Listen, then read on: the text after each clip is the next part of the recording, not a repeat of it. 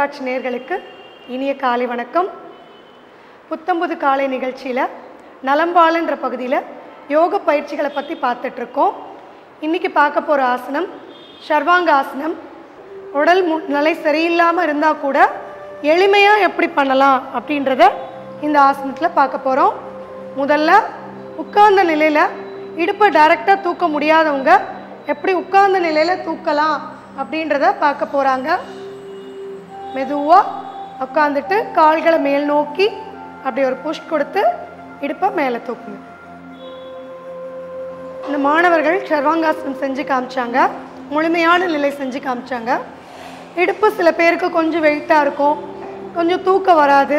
முதுகு தண்டுவடம் டைட்டாக இருக்கும். அப்படி இருக்கிற ஆட்கள் அமர்ந்த நிலையிலேயே கொஞ்சம் ஒரு ஜர்க்கு கொடுத்து இந்த நிலையில் எப்படி தூக்கலாம் அப்படின்றத செஞ்சு காமிக்க போகிறாங்க ஆனால் இதில் பார்த்து கவனமாக செய்யணும்.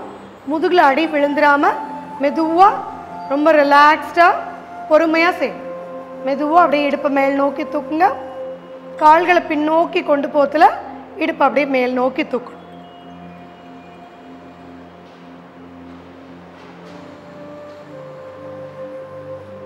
மெதுவாக ரிலாக்ஸ் பண்ணிக்கோங்க. தலையை தூக்காமல் அடுத்தது இவங்க ஏன் தலைகாணி வச்சுருக்காங்க அப்படின்னா ரொம்ப பேக் பெயின் இருக்கும். ஏற்கனவே பேக்கில் ஏதாவது அதீதமான வலிகள் இருக்கும். இல்லை கழுத்து சம்மந்தப்பட்ட பிரச்சனைகள் இருக்கும். ஆனால் இந்த ஆசனத்தோட முழுமையான பலனை அனுபவிக்கணும் அப்படின்னா அதுக்கு ஒரு விதிவிலக்கோட இந்த ஆசனத்தை தலவாணியோட உதவியோட செய்ய போகிறாங்க மெதுவாக எழுந்திருச்சு தலவாணி இந்த மாதிரி ஒரு மூன்று தலவாணிகளை ஒன்று சேர்த்து கட்டிக்கணும். ரொம்ப அதிக உயரமும் இருக்கக்கூடாது குறைவான உயரமும் இருக்கக்கூடாது. மெதுவாக எழுந்திருச்சு தலைவாணியோட எண்டில் உட்காந்துக்கும் அதோடைய நுனியில் உட்காந்துட்டு மெதுவாக கைகளை தரையில் வச்சு மெதுவாக படுங்க. தலை அடிச்சிடாம கைகளில் அழுத்தம் கொடுத்து பேலன்ஸ் கொடுத்து படுக்கும் கொடுத்துட்டு கால்களை மடக்கி வச்சு அப்படியே காலை மேலே தூக்குனீங்கன்னா அதை ஒத்த நிலை வரும். ஆனால் இது சர்வாங்காசனம் இல்லை. அதனுடைய மாற்று ஆசனம் விபரீத கரணி அப்படின்ற ஒரு முத்திரையான ஆசனம். அதாவது சர்வாங்காசனத்தோட நிலையை விபரீதமாக பண்ணுறதுனால இதுக்கு பேர் விபரீத கரணி. இதுக்கு இன்னொரு முக்கியமான பலன் இருக்குது இது வந்து டயபெட்டிஸ் நீரழிவு நோய்க்கு முக்கியமான பயிற்சி. பேக் பெயின் இருக்குது ரொம்ப நேரம் நின்னே வேலை பார்க்குறோம். முட்டி வலிக்குது கால் வலிக்குது அப்படின்னா இந்த மாதிரி தலைவாணி போட்டு கொஞ்ச நேரம் தூக்கி நிறுத்துனீங்கன்னா கால் வலி இடுப்பு வலி இருந்தால் இந்த ஆசனத்தில் சரியாயிடும்.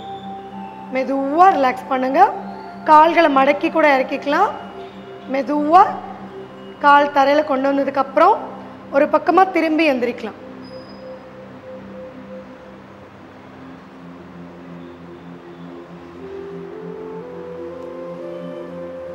இதோட தொடர்ச்சியாக இதோடைய மாற்று ஆசனம் பண்ண போகிறோம் ஏன்னா நம்மளுடைய சாதாரண மனிதர்கள் தான்.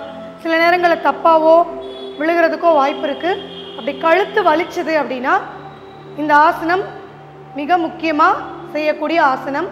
சர்வாங்காசனம் பண்ணுறீங்க ஒரு முப்பது நொடி பண்ணுறீங்க அப்படின்னா பத்து நொடியாவது குறைஞ்சபட்சம் இந்த ஆசனம் பண்ணணும்.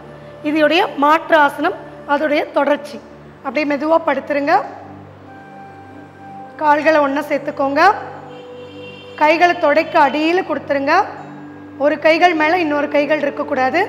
கைகள் நல்ல நீட்டிய நிலையில் முழங்கை வரைக்கும் உள்ளே கொடுத்துருங்க. தலையை தூக்கி மெதுவாக கால்களை பாருங்கள் அப்படியே உங்களுடைய நெஞ்சு பகுதியை மேல் நோக்கி உயர்த்தி தலையை அப்படியே தரையில் வைங்க. மூச்சை நல்லா இழுத்து விடுங்க. தலையில் அழுத்தம் கொடுக்க வேண்டாம். கைகளில் மட்டும் உங்களுடைய முழுமையான வெயிட்டையும் கொடுங்க. மெதுவாக ரிலாக்ஸ் பண்ணிக்கோங்க. தலையை தூக்கி கால்களை பார்த்து சாந்தி ஆசனம். இன்றைய பயிற்சியில் சர்வாங்காசனம் அதோடைய எளிமையான நிலை அதோடைய மாற்றாசனமான மச்சாசனம் மற்றும் அதோடைய பலன்களை எல்லாம் பார்த்தோம். இன்னும் அடுத்த நிகழ்ச்சியில் இன்னும் பல ஆசனங்களுடைய பலன்களோட ஆரோக்கியத்தோட மீண்டும் சந்திப்போம். நன்றி வணக்கம்.